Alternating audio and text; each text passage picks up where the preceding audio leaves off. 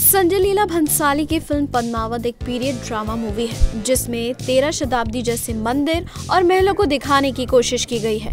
और आपको बता दें कि पद्मावत में दिख रहे इतने ग्रैंड सेट 35 करोड़ रुपए में तैयार किए गए हैं, और तो और फ़िल्म को 35 सेट पर शूट किया गया है।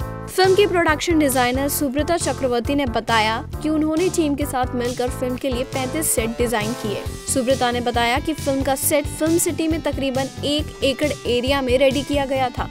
सुब्रता ने आगे बताया कि फ़िल्म सिटी में तैयार किए गए 35 सेट में चित्तौड़ का किला, शिव मंदिर, दिल्ली दरबार, जंगल, गुफाएँ, जलालुद्दीन खिलजी का घर वगैरह बनाया गया था।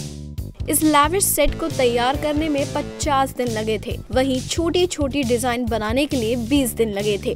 सुब्रता ने बताया कि अलाउद्दीन खिलजी के सिंहासन को तैयार करने में काफ़ी समय लगा। सुब्रता ने बताया कि सिंहासन को भंसाली का अप्रूवल मिलने में काफ़ी समय लगा। वो इस सिंहासन का एकदम डिफरेंट लुक चाहते थे। इसे फाइबर की जगह लकड़ी से तैयार किया गया था और इसे बनने में 20 दिन लगे थे। वहीं रिपोर्ट्स की माने तो फ़िल्म को फ़िल्म सिटी के अलावा दो रियल लोकेशंस पर शूट किया गया है।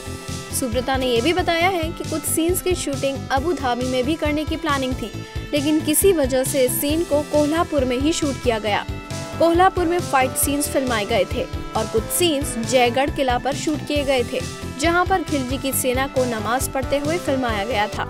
ज़ाहिर है कि भंसाली की फ़िल्म के सेट्स जितने सुंदर होते हैं, उतने ही इन्हें बनाने में मेहनत भी लगती है। बॉलीवुड की लेटेस्ट गपशप न्यूज़ और स्कूप्स के लिए सब्सक्राइब आर चैनल नाउ